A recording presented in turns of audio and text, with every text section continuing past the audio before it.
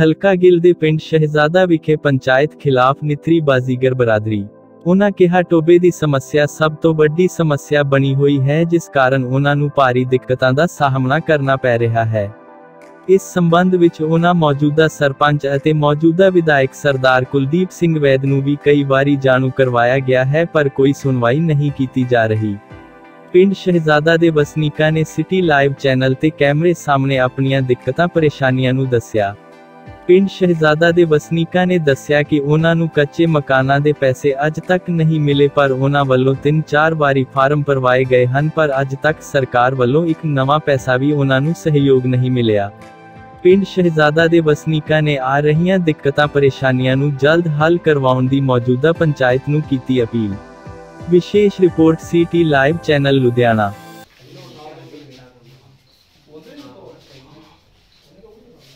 Punjabi ਮਾਂ ਬੋਲੀ ਨੂੰ ਸਮਰਪਿਤ ਤੁਹਾਡਾ ਆਪਣਾ ਸਿਟੀ ਲਾਈਵ ਚੈਨਲ ਅੱਜ ਤੁਹਾਨੂੰ ਲੈ ਕੇ ਪਹੁੰਚਿਆ ਹੋਇਆ ਹਲਕਾ ਗਿੱਲ ਦੇ ਪਿੰਡ ਸਹਿਜਾਦਾ ਦੇ ਵਿੱਚ। ਸਹਿਜਾਦਾ ਦੇ ਮੌਜੂਦਾ ਸਰਪੰਚ ਦੇ ਨਾਲ ਤੁਸੀਂ ਕੁਝ ਦਿਨ ਪਹਿਲਾਂ ਰੂਬਰੂ ਹੋ ਚੁੱਕੇ ਹੋ, ਜਿਸ ਦੇ ਵਿੱਚ ਪਿੰਡ ਦੇ ਸਰਪੰਚ ਸਰਦਾਰ ਮਨਦੀਪ ਸਿੰਘ ਜੀ ਨੇ ਪਿੰਡ ਦੇ ਕੰਮਾਂ ਕਾਰਾਂ ਦਾ ਬਾਰੇ ਜਾਣਕਾਰੀ ਦਿੱਤੀ ਸੀ। ਪਰ ਜਿਸ ਤਰ੍ਹਾਂ ਹੀ ਲੋਕਾਂ ਨੇ ਸਰਪੰਚ ਦੇ ਸ਼ਬਦ ਕੈਮਰੇ ਦੇ ਜ਼ਰੀਏ ਸੁਨੇ ਔਰ ਸਿਟੀ ਲਾਈਵ ਚੈਨਲ ਨੂੰ ਕਾਲ ਕਰਕੇ ਸਪੈਸ਼ਲ ਸਹਿਜਾਦਾ ਪਿੰਡ ਦੇ ਵਸਨੀਕਾਂ ਨੇ ਬੁਲਾਇਆ ਕਿ ਉਹਨਾਂ ਦੀਆਂ ਕੁਝ ਦਿੱਕਤਾਂ, ਪਰੇਸ਼ਾਨੀਆਂ ਨੇ ਜੋ ਮੌਜੂਦਾ ਐਮਐਲਏ ਨੇ ਖਤਮ ਨਹੀਂ ਕੀਤੀਆਂ। ਆਓ ਆਪਾਂ ਪਿੰਡ ਸਹਿਜਾਦਾ ਦੇ ਇਸ ਸਮੇਂ ਆਪਾਂ ਖੜੇ ਹਾਂ। ਵਾਰਡ ਨੰਬਰ 7 ਦੇ ਵਿੱਚ ਉੱਥੋਂ ਦੇ ਵਸਨੀਕਾਂ ਦੇ ਨਾਲ ਗੱਲਬਾਤ ਕਰਦੇ ਹਾਂ ਕਿ ਉਹਨਾਂ ਨੂੰ ਕੀ ਕੀ ਪਰੇਸ਼ਾਨੀਆਂ ਚਰਨਜੀਤ ਜੀ ਤੁਸੀਂ ਸਿਟੀ ਲਾਈਵ ਚੈਨਲ ਨੂੰ ਬੁਲਾਇਆ ਤੁਹਾਡੀ ਕੀ ਪਰੇਸ਼ਾਨੀ ਹੈ? ਮੈਂ ਪਰੇਸ਼ਾਨੀ ਇਹ ਨਹੀਂ ਮੈਂ 15 20 ਵੀਹ ਦਿਨ ਪਹਿਲਾਂ ਤੁਸੀਂ ਇੰਟਰਵਿਊ ਕੀਤੀ ਸੀ ਇਸੇ ਪਿੰਡ ਦੇ ਵਿੱਚ। ਤੇ ਮੈਮ ਉਸੇ ਪਿੰਡ ਦਾ ਇੱਕ ਏਰੀਆ ਬਾ ਡਿਫਰੈਂਟ ਏਰੀਆ ਮੈਮ 7 ਦਾ ਵਾਰਡ ਦਾ। ਤੇ ਉਦੋਂ ਸਰਪੰਚ ਸਾਹਿਬ ਨੇ ਕਿਹਾ ਸੀਗਾ ਜੀ ਇਸ ਪਿੰਡ ਦੇ ਵਿੱਚ ਪੂਰੀ ਡਿਵੈਲਪਮੈਂਟ ਹੋ ਰਹੀ ਹੈ ਕੰਮ ਚੱਲਦਾ ਪਿਆ ਠੀਕ ਹੈ ਜੀ? ਹੁਣ ਤੁਸੀਂ ਮੈਮ ਇੱਥੇ ਆਏ ਤੁਸੀਂ ਡਿਵੈਲਪਮੈਂਟ ਖੁਦ ਦੇਖ ਸਕਦੇ ਹੋ there is no development in our area okay ਤੇ ਮੈਮ ਸੈਕਿੰਡ ਥਿੰਗ ਆ ਇੱਥੇ ਮੈਮ ਪੜ੍ਹੇ ਲਿਖੇ ਲੋਕ ਘੱਟ ਰਹੇ ਲੋਅਰ ਕਲਾਸ ਦੇ ਲੋਕ ਨੇ ਮੈਮ ਮਿਡਲ ਵੀ ਨਹੀਂ ਕਹਿ ਸਕਦੇ ਆਪਾਂ ਲੋਅਰ ਕਲਾਸ ਦੇ। ਉਹ ਲੋਅਰ ਕਲਾਸ ਜਿੱਦਾਂ ਜੋ ਕੋਈ ਇਹਨਾਂ ਨੂੰ ਗੁੰਮਰਾਹ ਕਰਦਾ ਹੈ ਉਹਨਾਂ ਪਿੱਛੇ ਲੱਗ ਜਾਂਦੇ ਨੇ। ਇੰਨਾ ਅੱਗੇ ਕੋਈ ਕਹਿੰਦਾ ਵੀ ਤੁਹਾਨੂੰ ਇਹ ਕੰਮ ਕਰਵਾਵਾਂਗੇ ਇਹ ਉਹਨਾਂ ਮਗਰ ਲੱਗ ਜਾਂਦੇ ਨੇ ਮੈਮ ਠੀਕ ਆ। ਉਸ ਤੋਂ ਬਾਅਦ ਗੁੰਮਰਾਹ ਕਰਕੇ ਇਹਨਾਂ ਦਾ ਫਾਇਦਾ ਲਿਆ ਜਾਂਦਾ ਜੀ। ਵੋਟ ਟਾਈਮ ਇਹਨਾਂ ਤੋਂ ਵੋਟ ਮੰਗ ਕੇ ਬਾਅਦ ਦੇ ਵਿੱਚ ਕੋਈ ਡਿਵੈਲਪਮੈਂਟ ਨਹੀਂ ਮੈਮ ਤੁਸੀਂ ਦੇਖ ਸਕਦੇ ਹੋ ਡਿਵੈਲਪਮੈਂਟ ਕੋਈ ਨਹੀਂ ਹੋਈ ਇੱਥੇ। ਇਹ ਵਿਚਾਰੇ ਇਹਨਾਂ ਦੀ ਯੂਨਿਟੀ ਇੱਕ ਨਹੀਂ ਹੈ ਏਕਤਾ ਨਹੀਂ ਹੈ ਬਟ ਡਿਵੈਲਪਮੈਂਟ ਦੇ ਵਿੱਚ ਇਹ ਏਕਤਾ ਚਾਹੁੰਦੇ ਆ। ਵੀ ਡਿਵੈਲਪਮੈਂਟ ਦੀ ਆਪਣੇ ਏਰੀਆ ਦੀ ਡਿਵੈਲਪਮੈਂਟ ਚਾਹੁੰਦੇ ਮੈਮ ਕਿਸੇ ਵੀ ਥਰੂ ਹੋਵੇ। ਠੀਕ। ਆ ਜੀ? ਸਾਰੇ ਲੋਕਾਂ ਨੇ ਦੇਖੋ ਰੋਸ ਪਾਇਆ ਜਾ ਰਿਹਾ ਵਾ। ਆ ਦੇਖੋ ਕੋਈ ਕੰਮ ਨਹੀਂ ਹੋ ਰਿਹਾ। ਤੇ ਅਸੀਂ ਇਹੀ ਮੰਗ ਕਰਦੇ ਹਾਂ ਜੀ ਸਾਨੂੰ ਜੋ ਉਹ ਕਮਿਟਮੈਂਟ ਕਰਦੇ ਆ ਉਹਨੂੰ ਪੂਰਾ ਜੀ ਇੰਪਲੀਮੈਂਟ ਕਰ ਕੀ ਕੰਮ ਤੁਸੀਂ ਦੇਖ ਸਕਦੇ ਹੋ ਜੀ ਉਹਨਾਂ ਨੇ ਟੋਬੇ ਦੇ ਵਾਰ-ਵਾਰ ਵਰਡਿੰਗ ਯੂਜ਼ ਕੀਤੀ ਤੁਸੀਂ ਟੋਬੇ ਦਾ ਕੰਮ ਹੋਇਆ ਕੋਈ ਟੋਬਾ ਦੇਖ ਸਕਦੇ ਹੋ ਜੀ ਇੰਟਰਲੌਕ ਦੇਖ ਸਕਦੇ ਹੋ 5-600 ਮੀਟਰ ਦੀ ਸਾਰੀ ਸਾਡੀ ਗਲੀ ਹੋਣੀ ਆ ਉਹ ਚ ਹਾਫ ਦੇ ਵਿੱਚ ਇੰਟਰਲੌਕ ਲੱਗੀ ਹੋਈ ਆ। ਪੂਰੀ ਕੰਪਲੀਟ ਉਹ ਵੀ ਨਹੀਂ ਹੋਈ। ਉਹ ਵੀ ਸਾਬਕਾ ਸਰਪੰਚ ਦੇ ਟਾਈਮ ਇਸ ਸਰਪੰਚ ਦੇ ਟਾਈਮ ਨਹੀਂ। ਸਾਬਕਾ ਸਰਪੰਚ ਦੇ ਟਾਈਮ ਤੁਸੀਂ ਆਪਣੇ ਸ਼ਬਦਾਂ ਦੇ ਵਿੱਚ ਕਿਹਾ ਕਿ ਵੋਟਾਂ ਦੇ ਲਈ ਇਹਨਾਂ ਨੂੰ ਗੁੰਮਰਾਹ ਕੀਤਾ ਜਾਂਦਾ ਹੈ। ਤਬਕੇ ਨੂੰ ਜਿਹੜਾ ਦੱਸੋਗੇ ਗੁੰਮਰਾਹ ਕਰਨ ਦੇ ਲਈ ਕੀ ਦਲੀਲਾਂ ਦਿੱਤੀਆਂ ਜਾਂਦੀਆਂ? ਦਲੀਲਾਂ ਮੈਮ ਜਦੋਂ ਇਹਨਾਂ ਨੂੰ ਜਦੋਂ ਵੀ ਤੁਸੀਂ ਆਪਾਂ ਅਗਰ ਕੋਈ ਐਮਐਲਏ ਬਣਦਾ ਉਹ ਆਪਣੇ ਮੈਨੀਫੈਸਟੋ ਥਰੂ ਗੁੰਮਰਾਹ ਕਰਦਾ ਹੈ। ਸਰਪੰਚ ਆਪਣੇ ਕੰਮਾਂ ਥਰੂ ਗੁੰਮਰਾਹ ਕਰਦਾ ਹੈ। ਗੁੰਮਰਾਹ ਕਿਸ ਟਾਈਪ ਦਾ ਵੀ ਹੋ ਸਕਦਾ ਇਹ ਘੱਟ ਪੜੇ ਲਵੇ ਲੋਕਾਂ ਨੂੰ ਕਿਸੇ ਤਰ੍ਹਾਂ ਦੀ ਗੁੰਮਰਾਹ ਕਰ ਸਕਦੇ ਆਪਾਂ। ਤੁਸੀਂ ਕੁਝ ਵੀ ਕਹਿ ਕੇ ਕਰਵਾ ਸਕਦੇ ਹੋ ਜੀ ਇਹਨਾਂ ਤੋਂ। ਇਹਨਾਂ ਨੂੰ ਕੋਈ ਸਮਝ ਨਹੀਂ ਮੈਮ ਆਉਂਦੀ ਵੀ ਅਸੀਂ ਕਰੀਏ ਕੀ। ਫਿਰ ਇਹ ਪਿੱਛੇ ਲੱਗਦਾ ਮੈਂ ਕੋਈ ਸੋਲੂਸ਼ਨ ਨਹੀਂ ਹੁੰਦਾ ਇਹਨਾਂ ਕੋਲ ਦੇਖੋ ਟੋਬੇ ਦਾ ਕੰਮ ਅਸੀਂ ਸ਼ੁਰੂ ਕਰਵਾਇਆ ਸੀਗਾ। ਪਾਣੀ ਲਈ ਪੱਖਾ ਲੱਗਿਆ ਹੋਇਆ ਸੀ। ਠੀਕ ਹੈ। ਕੁਦਰਤੀ ਪਾਣੀ ਨਿਕਲਿਆ ਤਾਂ ਬਾਰਿਸ਼ ਹੋ ਗਈ ਉਦੋਂ ਬਾਅਦ। ਦੁਬਾਰਾ ਪਾਣੀ ਰੁਕ ਗਿਆ ਉੱਥੇ ਹੀ ਫਿਰ। ਹੂੰ। ਹੁਣ ਮਸ਼ੀਨ ਲਈ ਕਿਹਾ ਹੋਇਆ ਤਾਂ ਮਸ਼ੀਨ ਨਹੀਂ ਉੱਥੇ ਆ ਰਹੀ ਹੈਗੀ ਹਲੇ। ਮਸ਼ੀਨ ਦੇ ਕਰਕੇ ਕੰਮ ਰੁਕਿਆ ਹੋਇਆ ਟੋਬਾ ਪੂਰਾ ਸੁੱਕ ਨਹੀਂ ਰਿਹਾ ਹੈਗਾ। ਇਹੀ ਤੁਸੀਂ ਪ੍ਰੋਬਲਮ ਹੈ ਤੁਸੀਂ ਸਾਡੀ। ਤੁਸੀਂ ਟੋਬੇ ਦੀ ਸਮੱਸਿਆ ਦੇ ਲਈ ਕੁਦਰਤ ਨੂੰ ਜਿਹੜਾ ਹੈਗਾ ਆ ਜ਼ਿੰਮੇਵਾਰ ਠਹਿਰੇ ਦਿੱਤਾ। ਪਰ ਤੁਹਾਡੇ ਪਿੰਡ ਸਹਿਜਾਦਾਂ ਦੇ ਵਿੱਚ ਹਰ ਗਲੀ ਦੇ ਵਿੱਚ ਇੰਟਰਲੌਕ ਟੈਲਾਂ ਲੱਗ ਰਹੀਆਂ ਨੇ ਤੇ ਇਸ ਵਾਰਡ ਦੇ ਵਿੱਚ ਇੰਟਰਲੌਕ ਟੈਲਾਂ ਦਾ ਕੰਮ ਕਿਉਂ ਰੁਕਿਆ ਹੋਇਆ? ਦੇਖੋ ਇਸ ਵਾਰਡ ਦੇ ਵਿੱਚ ਸਾਡੇ ਇੱਕ ਗਲੀ ਬਣੀ ਆ ਉਹ ਵੀ ਅੱਧੀ। ਜੀ। ਠੀਕ ਹੈ ਜੀ। ਉਹ ਵੀ ਜਿੰਨੀ ਸਾਡੇ ਕੋਲ ਟਾਇਲ ਆਈ ਸੀ ਇਹਨਾਂ ਨੇ ਸਰਪੰਚ ਸਾਹਿਬ ਕਹਿੰਦੇ ਵੀ ਜਿੰਨੀ ਟਾਇਲ ਆਈ ਆ ਵੀ ਉਨੀ ਲੱਗਣੀ ਆ ਉਹ ਵੀ ਇੱਕ ਸਾਈਡ ਦਬ ਗਈ ਆ। ਹੂੰ। ਠੀਕ ਹੈ ਦੂਸਰਾ ਹੋ ਗਿਆ ਇਹ ਵੀ ਆਪਣੇ ਚੋਣ ਜਾਬਤੇ ਤੋਂ ਬਾਅਦ ਹੂੰ। ਜਿੱਦਾਂ ਵੀ ਗ੍ਰਾਂਟ ਆਊਗੀ ਵੀ ਇਹ ਸੜਕ ਪੂਰੀ ਕੀਤੀ ਜਾਊਗੀ ਤੁਹਾਡੇ ਕਹਿਣ ਤੋਂ ਭਾਵ ਇਹ ਹੈ ਕਿ ਵੀਡੀਓ ਆਫਿਸ ਦੇ ਵਿੱਚ ਅੱਧੀ ਗਲੀ ਪੂਰਾ ਕਰਨ ਦੇ ਲਈ ਹੀ ਮਤਾ ਪਾਸ ਹੁੰਦਾ ਹੈ? ਨਹੀਂ ਜੀ। ਪੂਰੀ ਲਈ ਸੀਗਾ ਪਰ ਟਾਈਮ ਜੋ ਫੰਡ ਸੀਗਾ ਆਪਣੇ ਕੋਲੇ ਫੰਡ ਘਟ ਚੁੱਕਿਆ।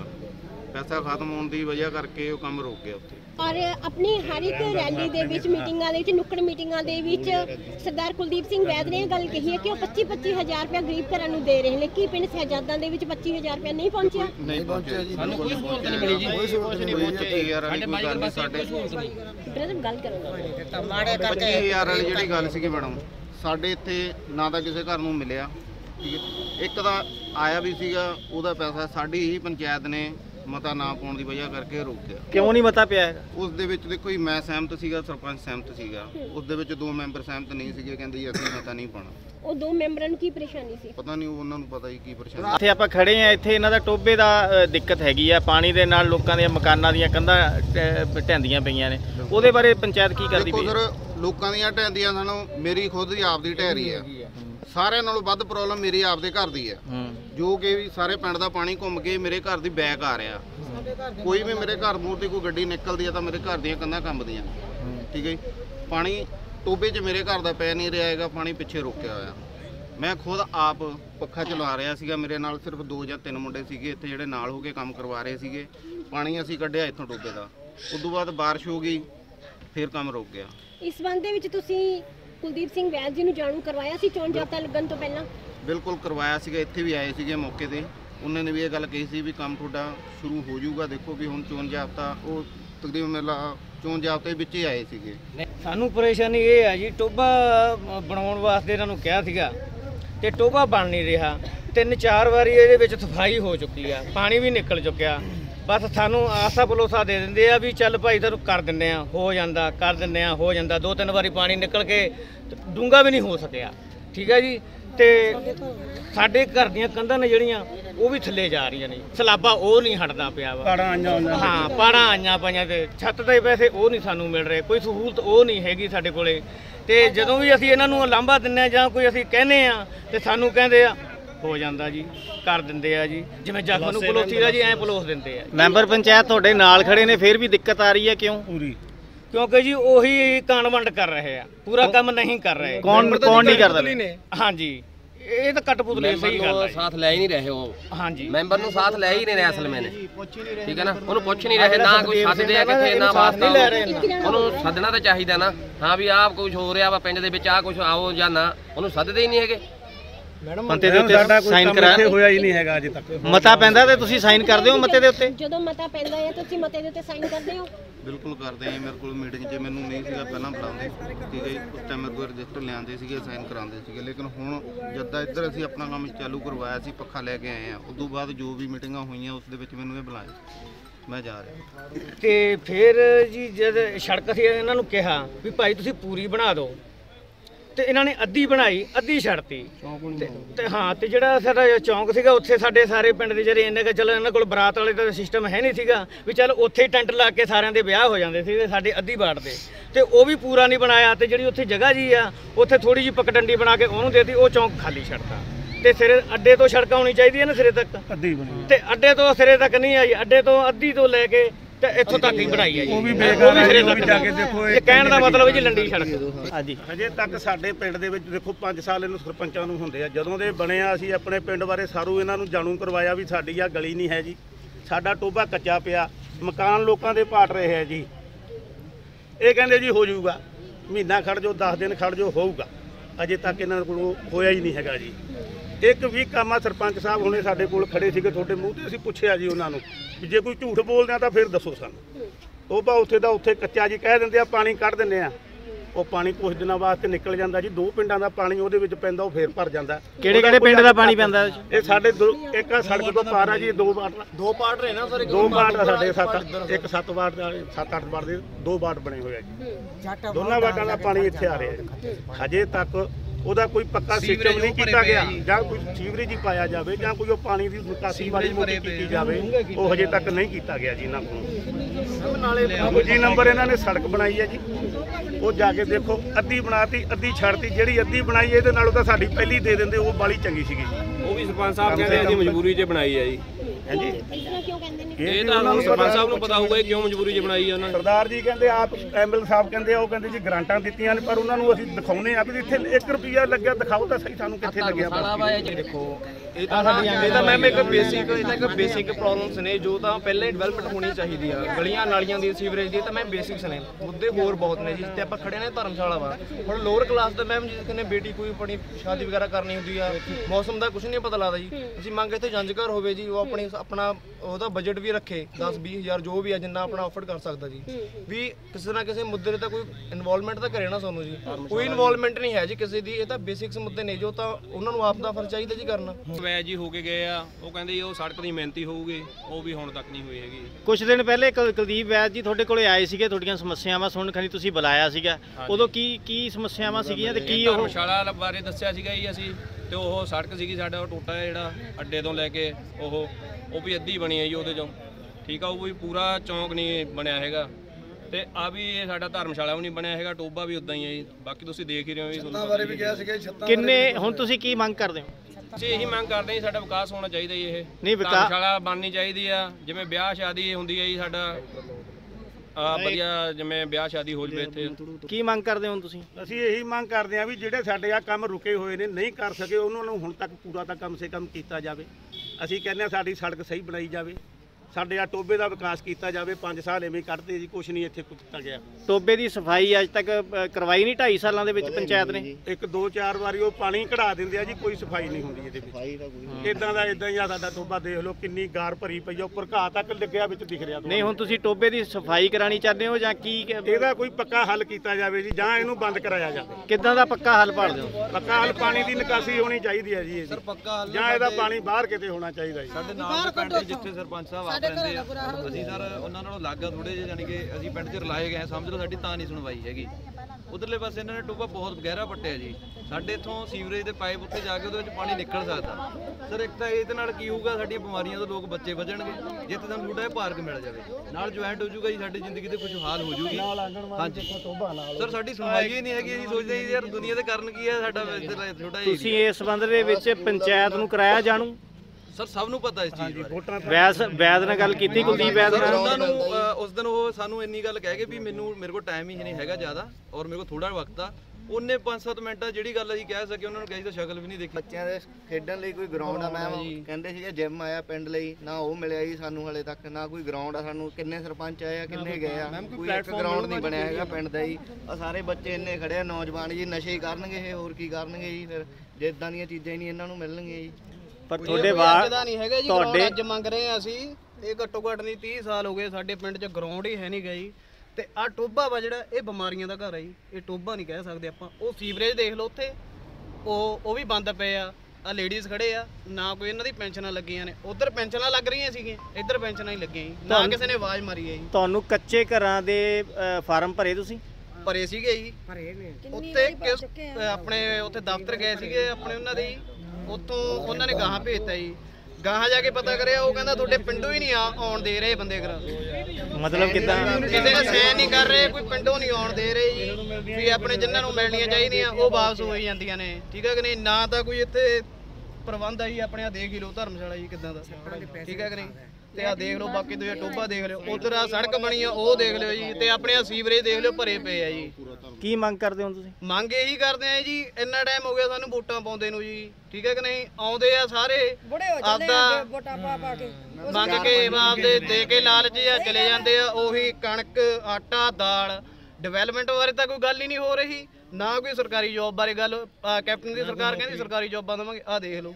ਤੁਹਾਡੇ ਸਾਹਮਣੇ ਹੀ। ਅੱਜ ਚੋਣ ਜਾਬਤਾ ਲੱਗਣ ਤੋਂ ਬਾਅਦ ਜਿੱਥੇ 20 ਤਰੀਕ ਨੇੜੇ ਹੈ ਤੁਸੀਂ ਅੱਜ ਆਪਣੀਆਂ ਪਰੇਸ਼ਾਨੀਆਂ ਦੱਸਣ ਲੱਗ ਪਏ ਹੋ। 5 ਸਾਲ ਵਿੱਚ ਆਪਣੀਆਂ ਪਰੇਸ਼ਾਨੀਆਂ ਕਿਉਂ ਪਰੇਸ਼ਾਨੀ ਹੈ ਜੀ ਅਸੀਂ ਪਹਿਲਾਂ ਭਾਈ ਬੰਦੀ ਨਾਲ ਦੱਸ ਰਹੇ ਸੀਗੇ ਆਪਣੇ ਪੰਚ ਨੂੰ ਕਹਿ ਕੇ ਭੇਜਦੇ ਸੀ ਵੀ ਇਦਾਂ ਆ ਪ੍ਰੋਬਲਮ ਆ ਤੇ ਕੋਈ ਹੱਲ ਨਹੀਂ ਹੋ ਰਿਹਾ ਸੀਗਾ। ਅੱਜ ਅਸੀਂ ਅੱਕ ਕੇ ਪਿੰਡ ਵਾਲਿਆਂ ਨੇ ਤੁਹਾਨੂੰ ਕਾਲ ਕੀਤੀ ਆ ਵੀ ਆ ਦੇਖ ਲਓ ਆ ਕੇ ਅਸੀਂ ਇੰਟਰਵਿਊ ਦੇਖੀ ਫੋਨ ਦੇ ਉੱਪਰ। ਵੀ ਆ ਹੋ ਰਿਹਾ ਆ ਗੱਲਾਂ ਕਹਿ ਰਹੇ ਆ। ਤੇ ਆ ਤੁਸੀਂ ਹੁਣ ਆਪ ਮੌਕੇ ਤੇ ਦੇਖਿਆ ਜੀ ਤੁਸੀਂ ਆਪ ਗਵਾਹ ਹੋ ਜਾਂ ਉਧਰ ਦੇਖ ਲਿਓ ਉਹ ਵੀ ਤੁਹਾਨੂੰ ਪਤਾ ਲੱਗ ਜੂਗਾ ਜੀ ਕਿੱਦਾਂ ਦੀ ਪ੍ਰੋਬਲਮ ਆ। ਜਿਮ ਦਾ ਕੋਈ ਸਾਡੇ ਹੈ ਨਹੀਂ ਗਾ ਜੀ ਨਾ ਕੋਈ ਇੱਥੇ ਡਿਵੈਲਪਮੈਂਟ ਹੀ ਹੈ ਨਹੀਂ ਗਾ ਜੀ। ਸਾਨੂੰ ਗਰਾਊਂਡ ਮੈਡਮ ਵੀ ਜ਼ਰੂਰੀ ਮੈਡਮ ਵੀ ਤਕਰੀਬਨ 230 ਵੋਟ ਜੀ ਕੋਈ 5-6 ਕਿਲੋਮੀਟਰ ਗਰਾਊਂਡ ਦੇ ਬੱਚੇ ਖੇਡਣ ਨੂੰ ਜਾਂਦੇ ਆ ਉਹ ਵੀ ਪਿੰਡ ਦੇ ਬੰਦੇ ਕਹਿੰਦੇ ਆ ਜਾਓ ਤੁਸੀਂ ਵੀ ਅਸੀਂ ਨਹੀਂ ਤੁਹਾਨੂੰ ਇੱਥੇ ਵੜਨ ਦੇਣਾ ਹੈਗਾ। ਇਹ ਗਲਤ ਗੱਲ ਆ ਮੈਡਮ ਜੀ ਗਰਾਊਂਡ ਸਾਨੂੰ ਜ਼ਰੂਰੀ ਚਾਹੀਦਾ ਜੀ। ਸਾਡੇ ਮਕਾਨ ਕੱਚੇ ਸੀਗੇ। ਕੱਚੇ ਸੀਗੇ ਤਾਂ ਸਾਡੇ ਕੋਲੋਂ ਦੋ ਤਿੰਨ ਵਾਰੀ ਲਿਖ ਕੇ ਲੈ ਗਏ ਨੇ ਫੋਟੋ ਵੀ ਲੈ ਗਏ ਨੇ। ਤਾਂ ਅਸੀਂ ਹਾਰ ਕੇ 2 ਸਾਲ ਹੋ ਗਏ ਨੇ। ਅੱਜ ਪੈਸੇ ਆਉਂਦੇ ਅੱਜ ਪੈਸੇ ਆਉਂਦੇ। ਸਾਨੂੰ ਲਾਰੇ ਲਾ ਲਾ ਕੇ ਪੈਸਾ ਇੱਕ ਨਹੀਂ ਆਇਆ। ਇਹ ਮੇਰੇ ਇਹ ਇੰਗਲਵਾੜੀ ਵਿੱਚ ਮੇਰੇ ਮੁੰਡੇ ਇੱਥੇ ਧੱਕੇ ਖਾਂਦੇ ਆ। ਨਾ ਇੱਥੇ ਕੋਈ ਬਾਥਰੂਮ ਨਾ ਲੈਟਰਿੰਗ ਵਿਚਾਰੇ ਕਦੋਂ ਕਿੱਥੋਂ ਰਾਤ ਨੂੰ ਧੱਕੇ ਖਾਂਦੇ ਕਦੋਂ ਕਿੱਥੋਂ ਖਾਂਦੇ ਆ। ਇੱਕ ਉਹ ਕਿਰਾਏ ਤੇ ਦੁਕਾਨ ਲਈ ਹੋਈ ਆ। ਸਾਡੇ ਉਹ ਬੱਚੇ ਮਕਾਨ ਪਾਉਂਦੇ ਪਏ ਨੇ ਉਹ ਵੀ ਅੱਧ ਵਿੱਚ ਪਏ ਨੇ। ਸਾਨੂੰ ਸਰਕਾਰ ਕੀ? ਦਿੰਦੀ ਏ? 20 ਸਾਲ ਹੋ ਗਏ ਸਾਡੇ ਕੋਲ ਵੋਟਾਂ ਲੈ ਲੈਂਦੀ ਏ। ਤੁਸੀਂ ਤੁਸੀਂ ਕੱਚੇ ਘਰਾਂ ਦੇ ਫਾਰਮ ਭਰੇ? ਹਾਂਜੀ ਭਰੇ ਛੱਤਾਂ ਛੁੱਤਾਂ ਸਾਰੀਆਂ ਕਹਿੰਦੇ ਤਿਆਰ ਨੇ ਫੋਟੋ ਸਾਡੀਆਂ ਸਾਰਿਆਂ ਦੇ ਲੈ ਕੇ ਗਏ। ਪੰਜ ਵਾਰ ਬਸ ਸਾਡੇ ਘਰਾਂ ਵਿੱਚ ਕਿਸੇ ਨੂੰ ਨੀ ਪੈਸਾ ਆਇਆ। ਕੀ ਕਰਨਾ? ਤੁਸੀਂ ਕੱਚੇ ਘਰਾਂ ਲਈ ਫਾਰਮ ਮੈਂ ਕਿ ਬਿਲਕੁਲ ਭਰਿਆ ਜੀ ਜਾ ਕੇ ਦੇਖੋ ਸਾਡੇ ਕਮਰੇ ਦਾ ਹੱਲ। ਤੁਸੀਂ ਦੇਖੋਗੇ ਨਾ ਵੀ ਕਿਵੇਂ ਤੁਸੀਂ ਰਹਿ ਰਹੇ ਹੋ ਕਿਵੇਂ ਤੁਸੀਂ ਬਹਿ ਰਹੇ ਹੋ ਠੀਕ ਹੈ ਕਿ ਨਹੀਂ? ਸਾਨੂੰ ਕੋਈ ਹੱਲ ਨਹੀਂ ਹੋ ਰਿਹਾ। ਕਿਸੇ ਪਾਸੇ ਕੋਈ ਹੱਲ ਕਿੰਨੀ ਵਾਰੀ ਪੈਸੇ ਭਰੇ ਬੜੇ ਹੋ ਚੱਲੇ ਆ ਭਰ ਭਰ ਕੇ ਆਹ ਫਾਰਮ ਲਿਖ ਲਿਖ ਕੇ ਦੇ ਗਏ। ਅੱਜ ਆ ਗਿਆ ਕੱਲ ਨੂੰ ਆ ਗਿਆ ਕੁਛ ਜਦ ਮੀਂਹ ਪੈਂਦਾ ਨਾ ਜਾ ਕੇ ਸਾਡੇ ਕਮਰੇ ਦੇਖੋ। ਵੀ ਕਿਵੇਂ ਤੂੰ ਬਹਿਨੀ ਤੇ ਕਿਵੇਂ ਤੂੰ ਉੱਥੇ ਉੱਠਦੀ ਹੈ ਠੀਕ ਹੈ ਨਾ ਸਾਡਾ ਪਿੰਡ 'ਚ ਕੋਈ ਹੱਲ ਨਹੀਂ ਹੋ ਰਿਹਾ ਅਸੀਂ ਤਾਂ ਅੱਜ ਤੁਹਾਡੇ ਅੱਗੇ ਰੋਣ ਲੱਗੇ ਆ ਵੀ ਸਾਡਾ ਕੁਝ ਹੱਲ ਕਰੋ। ਕਰੋ ਕਿਉਂ ਤੁਸੀਂ ਗਰੀਬਾਂ ਨੂੰ ਮਾਰਦੇ ਹੋ? ਕਿਉਂ ਮਾਰਦੇ ਹੋ? ਕੁਝ ਤੇ ਹੱਲ ਕਰੋ ਸਾਡਾ। ਜਿਹੜਾ ਜਿਹੜਾ ਨੰਗਾ ਨਾ ਉਹ ਰੋਂਦਾ। ਜਿਹੜਾ ਨਹੀਂ ਨੰਗਾ ਉਹ ਨਹੀਂ ਰੋਂਦਾ। ਸੱਚ ਕਹਿ ਰਹੇ ਆਪਾਂ ਹਾਂਜੀ। ਆਪਾਂ ਰੱਜ ਕੇ ਮੈਂ ਦੁਖੀ ਆ। ਠੀਕ ਹੈ ਨਾ? ਤੁਸੀਂ ਹੱਲ ਕਰੋ ਸਾਡਾ। ਤੁਸੀਂ ਇਸ ਸੰਬੰਧ ਦੇ ਵਿੱਚ ਆਪਣੇ ਮੌਜੂਦਾ ਸਰਪੰਚ ਨਾਲ ਗੱਲ ਕੀਤੀ? ਜੀ ਸਾਰਾ ਕੁਝ ਕੀਤਾ ਕਿੰਨੀ ਵਾਰੀ ਫੋਟੋ ਅੰਦਰ ਖੜਾ ਕੇ ਖਿੱਚੇ ਬਾਰਿਸ਼ ਦਾ ਵਿੱਚ ਵੀ ਆਉਂਦੇ ਰਹੇ ਨੇ ਆਹ ਤੇ ਕੁਝ ਨਹੀਂ ਬਣਿਆ। ਕੁਝ ਹੱਲ ਨਹੀਂ ਹੋਇਆ ਸਾਡਾ ਜੀ। ਹਾਂਜੀ ਜੇ ਨਹੀਂ ਤੇ ਸਾਡੇ ਜਾ ਕੇ ਦੇਖੋ ਬਾਕੀ ਆ ਸੜਕ ਤੇ ਦੇਖੋ ਜਾ ਕੇ ਘਰਾਂ 'ਚ ਦੇਖੋ। ਜੀ ਸਾਡੇ ਕੱਚੇ ਘਰਾਂ ਦੀ ਡਿੱਗਦੇ ਪਏ ਆ ਕੰਮ। ਤੁਸੀਂ ਕਾਗਜ਼ ਭਰੇ ਸੀ ਕੱਚੇ ਘਰਾਂ ਦੇ? ਹਾਂਜੀ ਭਰੇ ਹੋਇਆ ਜੀ। ਤੇ ਉਸ ਸੰਬੰਧੀ ਵਿੱਚ ਸਰਪੰਚ ਨੇ ਕੀ ਕਿਹਾ? ਉਹ ਉਹਨਾਂ ਨੇ ਕਿਹਾ ਸੀਗਾ ਹਾਂਜੀ ਵੀ ਅਸੀਂ ਬਣਾਵਾਂਗੇ ਆਪਾਂ ਦਵਾਂਗੇ। ਕੁਝ ਨਹੀਂ ਦਿੱਤਾ ਵਾ ਸਾਨੂੰ ਕਮਰੇ ਦਾ। ਕਮਰੇ ਬਿਲਕੁਲ ਡਿੱਗੇ ਪੈਸੇ। ਵੀ ਤਿੰਨ ਚਾਰ ਵਾਰੀ ਭਰੇ ਨੇ। ਇਹਨਾਂ ਦੇ ਸਾਡੇ ਪੈਸੇ ਆਏ ਹੋਏ ਹੋ। ਪੈਸੇ ਵਾਪਸ ਸਾਡੇ ਵਾਪਸ ਹੋ ਗਏ। ਵਾਪਸ ਕਿਉਂ ਹੋ ਗਏ? ਵਾਪਸ ਹੋਏ ਸਾਡੇ ਸਾਈਨ ਨਹੀਂ ਹੋਏ। ਇੱਕ ਮਿੰਟ ਜੀ ਇੱਕ ਮਿੰਟ। ਹਾਂਜੀ ਸਾਡੇ ਸਾਈਨ ਨਹੀਂ ਹੋਏ ਮੈਂਬਰਾਂ ਨੇ ਸਾਈਨ ਨਹੀਂ ਕਰੇ। ਦੋ ਤਿੰਨ ਮੈਂਬਰਾਂ। ਕਰੇ ਨੇ ਇੱਕ ਦੋ ਮੈਂਬਰਾਂ ਨੇ ਵਿੱਚ ਕਰੇ ਹੀ ਨਹੀਂ। ਆਏ ਹੋਏ ਸਾਡੇ ਪੈਸੇ ਤੁਸੀਂ ਜਦੋਂ ਫਿਰ ਵਾਪ- ਵਾਪਸ ਪੈਸੇ ਹੋ ਗਏ ਤਾਂ ਪੰਚਾਇਤ ਨੂੰ ਕਿਹਾ ਨਹੀਂਗਾ ਕਿਹਾ ਸੀਗਾ ਬਥੇਰਾ। ਕੀ ਕਹਿੰਦੀ ਪੰਚਾਇਤ? ਕਿਸੇ ਨੇ ਸੁਣਿਆ ਹੀ ਨਹੀਂ ਸਾਡੀ ਕੋਈ ਗੱਲ। ਜਦੋਂ ਪੈਸੇ ਵਾਪਸ ਚਲੇ ਗਏ ਤੁਸੀਂ ਮੌਜੂਦਾ ਐਮਐਲਏ ਨੂੰ ਕਿਹਾ? ਆਹੋ ਬਥੇਰੀ ਮੇਰੀ ਜਾ ਕੇ ਕਿਹਾ ਸੁਣਿਆ ਹੀ ਨਹੀਂ ਸਾਡੀ ਐਮਐਲ ਨੇ। ਹਾਂ ਉਹ ਕੀ ਕਹਿੰਦਾ? ਨਹੀਂ ਸੁਣੀ ਸਾਡੀ। ਹੂੰ। ਹਾਂ ਕੋਈ ਨਾ ਆ ਜਾਣਗੇ ਕੋਈ ਨਾ ਭੇਜ ਦਾਂਗੇ ਤੁਹਾਡੇ ਵਾਪਸ ਪੈਸੇ। ਕਿੰਨੇ ਪੈਸੇ ਸਾਹਿਬ ਕਹਿੰਦੇ ਜੇ ਸਾਨੂੰ ਮਗਰੋਂ ਆਊਗਾ ਫਿਰ ਅਸੀਂ ਲਵਾਂਗੇ। ਜਦੋਂ ਨੂੰ ਸਰਪੰਚ ਹਰ ਵਾਰੀ ਸਰਪੰਚ ਨੂੰ ਅਸੀਂ ਕਿਹਾ ਘਰ ਬੁਲਾ ਕੇ ਦਿਖਾਉਨੇ ਵੀ ਦੇਖ ਕਿੰਨੇ ਡੂੰਘੇ ਪਾਣੀ ਭਰਿਆ ਪਿਆ ਸਰਪੰਚ ਸਾਹਿਬ ਨਹੀਂ ਸਾਡੀ ਸੁਣਦੇ ਪਏ। ਪੰਜ ਵਾਰੀ ਫਾਰਮ ਭਰਿਆ ਮੈਂ ਆਪ ਭਰ ਕੇ ਆਇਆ ਫਾਰਮ ਜੀ। ਕਿਸੇ ਨੇ ਸਾਡੀ ਕੋਈ ਸੁਣਵਾਈ ਨਹੀਂ ਕੀਤੀ। ਤੁਸੀਂ ਹੁਣ ਚੋਣ ਜਾਬਤਾ ਲੱਗਣ ਤੋਂ ਬਾਅਦ ਆਪਣੀਆਂ ਇਹਨਾਂ ਸਮੱਸਿਆਵਾਂ ਬਾਰੇ ਦੱਸਣ ਲੱਗ ਗਏ? ਇਸ ਤੋਂ ਪਹਿਲਾਂ ਕਿਉਂ ਨਹੀਂ ਬੋਲੇ? ਅਸੀਂ ਕੀ ਬੋਲੀ? ਅਸੀਂ ਦੇਖਦੇ ਹੁੰਨੇ ਵੀ ਅੱਜ ਕਰਨਗੇ ਅੱਜ ਕਰਨਗੇ ਅੱਜ ਕਰਨਗੇ ਅੱਜ 15 ਸਾਲ ਹੋ ਗਏ ਜੀ ਦੇਖਦੇ ਨੂੰ ਉਹਨਾਂ ਨੂੰ। 15 ਸਾਲ ਦੇ ਵਿੱਚ ਇੱਕ ਵੀ ਕੰਮ ਨਹੀਂ ਹੋਇਆ ਇਹਨਾਂ ਤੋਂ। ਸਾਰੇ ਗਰੀਬਾਂ ਤੁਸੀਂ ਆਪ ਜਾ ਕੇ ਦੇਖੋ ਘਰ ਦੇਖੋ ਪਹਿਲਾਂ। ਸਾਰਿਆਂ ਦੇ ਘਰ ਦੇਖੋ। ਕਿੰਨਾ ਕਿੰਨਾ ਪਾਣੀ ਖੜਾ ਕਿਵੇਂ ਤਰਪਾਲਾਂ ਪਾਈਆਂ ਕਿਵੇਂ ਬੈਠੇ ਆ ਜੀ। ਆਪਣੇ ਜੀ ਹੱਥ ਜੋੜ ਕੇ। ਬੇਨਤੀ ਕਰਦੇ ਹਾਂ ਕਿ ਸਾਡੇ ਪਿੰਡ ਨੂੰ ਗਰਾਊਂਡ ਮਿਲਣਾ ਚਾਹੀਦਾ ਜੀ। ਤੇ ਨਾਲੇ ਜਿੰਮ ਬਣਨੀ ਚਾਹੀਦੀ ਹੈ ਜੀ, ਤੇ ਨਾਲੇ ਸਾਡੇ ਆ ਟੋਬੇ ਦਾ ਵਿਕਾਸ ਹੋਣਾ ਚਾਹੀਦਾ, ਇਹ ਟੋਬਾ ਨਹੀਂ ਹੈਗਾ, ਇਹ ਬਿਮਾਰੀਆਂ ਦਾ ਘਰ ਹੈ ਠੀਕ ਹੈ ਕਿ ਨਹੀਂ? ਸਰ, ਤੁਸੀਂ ਆਪ ਦੇਖ ਸਕਦੇ ਹੋ ਤੇ ਬਾਕੀ ਪਿੰਡ ਦੇ ਵਿੱਚ ਜਿਹੜੇ ਕੱਚੇ ਘਰ ਆ, ਉਹ ਵੀ ਦੇਖ ਸਕਦੇ ਹੋ ਤੁਸੀਂ ਤੇ ਆ ਧਰਮਸ਼ਾਲਾ ਵੀ ਦੇਖ ਸਕਦੇ ਹੋ, ਅਸੀਂ ਕੋਈ ਝੂਠ ਨਹੀਂ ਬੋਲ ਰਹੇ ਵੀ ਆਪਦੇ ਕੋਲੋਂ ਗੱਲਾਂ ਦੱਸੀ ਜਾਂਦੇ ਆ। ਇਹ ਤੁਸੀਂ ਇੱਕ ਪਿੰਡ 'ਚ ਜਾਓਗੇ ਤੇ ਨਾਲੇ ਤੁਹਾਨੂੰ ਸੜਕਾਂ ਬਾਰੇ ਵੀ ਪਤਾ ਲੱਗ ਜਾਣਾ ਵੀ ਦਬੀ ਆ ਜਾਂ ਨਹੀਂ ਦਬੀ ਹੈਗੀ। ਹਲੇ 4 ਦਿਨ ਸੜਕ ਬਣੀ ਨੂੰ ਨਹੀਂ ਹੋਈ ਹੈਗੇ, ਉਹ ਪਹਿਲਾਂ ਹੀ ਦਬ ਗਈ ਜੀ। ਟੁੱਟ ਵੀ ਗਈ ਟੁੱਟ ਵੀ ਗਈ, ਅੱਧੀ ਸੜਕ ਬਣਾਈ ਹੈ ਜੀ ਨਾਲੇ, ਪੂਰੀ ਵੀ ਨਹੀਂ ਬਣੀ ਹੈਗੀ। ਤੇ ਦੂਜੀ ਗੱਲ ਇੱਕ ਮੈਂ ਹੋਰ ਗੱਲ ਕਹਿਣਾ ਚਾਹੁੰਦਾ।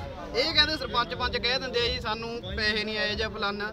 ਐਮਐਲਏ ਬੈਦ ਇੱਥੇ ਕਹਿ ਕੇ ਗਿਆ ਕਹਿੰਦੇ ਵੀ 80 ਲੱਖ ਰੁਪਏ ਦਿੱਤਾ। ਜੀ 88 ਲੱਖ ਰੁਪਏ। ਉਹ ਕਿੱਧਰ ਚਲਾ ਗਿਆ? ਉਹ ਕਿੱਧਰ ਚਲੇ ਗਿਆ? ਹੁਣ ਬੈਦ ਝੂਠ ਬੋਲ ਰਿਹਾ ਜਾਂ ਸਰਪੰਚ ਝੂਠ ਬੋਲ ਰਿਹਾ ਜੀ? ਹੁਣ ਇਹਦਾ ਸਾਡੇ ਸਰਪੰਚ ਤੇ ਪਿੰਡ ਦੇ ਵਿੱਚ ਫਿੱਕ ਪਵਾ ਰਹੇ ਆ ਫਿਰ ਇਹਦਾ ਮਤਲਬ ਨੂੰ ਗਰਾਊਂਡ ਤੇ ਜਿਮ ਜ਼ਰੂਰ ਮਿਲਣਾ ਚਾਹੀਦਾ ਕੁਛ ਨਹੀਂ ਮਿਲ ਰਿਹਾ ਜੀ। ਦੋ ਚਾਰ ਕੰਮ ਨੇ ਇਹੀ ਨਹੀਂ ਜੇ ਕਰ ਰਹੀਆਂ ਸਰਕਾਰਾਂ ਹੋਰ ਕੀ ਕਰ ਸਕਦੀਆਂ ਨੇ ਜੀ ਫਿਰ? ਉਹ ਕਿੱਟਾਂ ਦੇ ਜਾਂਦੇ ਆ। ਉਹ ਕਿੱਟਾਂ ਦੇ ਜਾਂਦੇ ਆ ਖੇਡਣ ਵਾਸਤੇ ਵੀ ਖੇਡੀਏ ਕਿੱਥੇ ਵੀ ਅਸੀਂ ਉਹਨਾਂ ਨੂੰ ਪੱਠੇ ਪੁੱਛੋ। ਵੱਢੀਏ ਜੀ ਉਹ ਕਿੱਟਾਂ ਪਾ ਕੇ ਜੀ ਦੱਸੋ ਪਹਿਲਾਂ। ਜਦ ਗਰਾਊਂਡ ਹੀ ਹੈ ਨਹੀਂ ਇੱਥੇ ਹੀ ਅਸੀਂ ਕੀ ਕਰੀਏ ਇੱਥੇ? ਆਹ ਇੰਨੇ ਜਵਾਕ ਖੜੇ ਆ ਸਾਰੇ ਹੀ ਦੇਖ ਲਓ 15 15 20 20 ਸਾਲ ਦੇ ਨੇ। ਕਿਸੇ ਨੂੰ ਕੋਈ ਗਰਾਊਂਡ ਨਹੀਂ ਮਿਲਦਾ ਹੈਗਾ ਖੇਡਣ ਲਈ। ਬੰਦੇ ਨਸ਼ੇ ਹੀ ਕਰਨਗੇ ਹੋਰ ਕੀ ਕਰਨਗੇ ਇਹ ਜਵਾਕ ਸਾਰੇ ਇਹ।